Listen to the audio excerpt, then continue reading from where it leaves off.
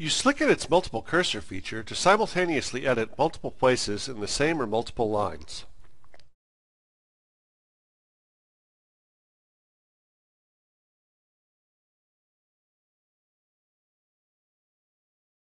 Use Shift right-click to create one cursor for each line.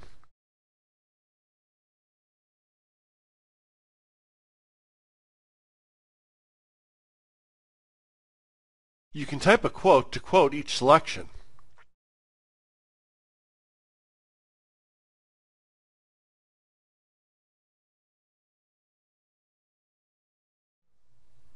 Use Control-click to create multiple cursors.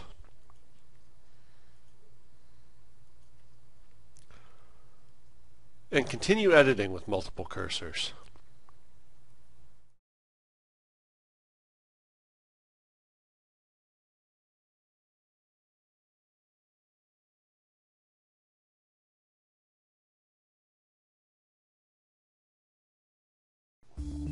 Download your free trial today. Go to www.slickedit.com slash trial.